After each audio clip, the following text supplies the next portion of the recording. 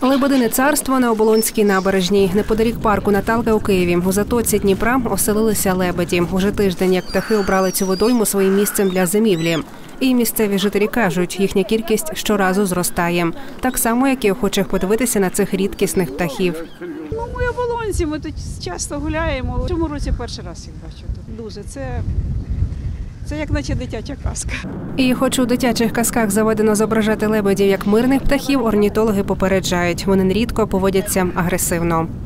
Та й людей до себе навряд чи близько підпустять. Тож і годувати із рук цих гордих птахів не вийде, кажуть фахівці. Зерно, зернові відходи, комбікорм е, по суті те, що годують домашніх птахів е, без шкідливих різних домішок.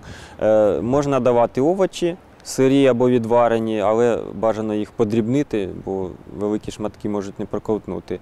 Про те, що годувати лебедів хлібом не варто, знають не усі. Белым и черным нельзя. Пойдите, посмотрите, чем люди там кормят. Ну, просто не доходит до людей. Я вообще не понимаю. А дехто навіть свідомо кришить хлібобулочні птахам заради розваги. Желательно крупами, конечно, было написано кукурузой, но в магазине такое не получилось купить, поэтому детскую печеньку даю. Лебеді це рослиноїдні тварини, пояснюють фахівці. Тож така їжа просто не підходить для їхнього організму. Особливо небезпечний чорний хліб, солод та спеції, які він містить, викликають злипання шлунка і бродять у кишечнику.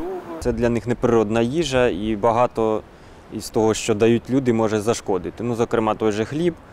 Е, Він не- надто корисний, якщо навіть не сказати шкідливий. Зокрема, після вживання великої кількості хлібу і довго у водоплавних птахів розвиваються хвороби, можуть е, рости суглоби е, повільніше, ніж кістки у молодих птахів, крила вивертаються потім. Ця затока Дніпра чи не єдине місце у Києві, де лебеді можуть перезимувати. Тут постійно змінюється рівень води, тож водойма і не покривається кригою. Поряд із лебедями тут оселилися і качки, і голуби, які злетілися, бо є чим поживитися. Тож набережна перетворилася на справжнє пташине царство. Утім, якщо лебеді витримують столичні заморозки, то їх буває людська жорстокість. Замість того, щоб помилуватися на красу, хтось вирішив влаштувати тут полювання. Ось це фото загиблого птаха на оболонській набережній зробили місцеві жителі. Спочатку подумали, що він загинув від неправильного прикорму. Та у столичному зоопарку зробили ростин, і результати показали. Його просто підстрелили. Тож зоозахисники просять бути більш обачними та обережними з птахами.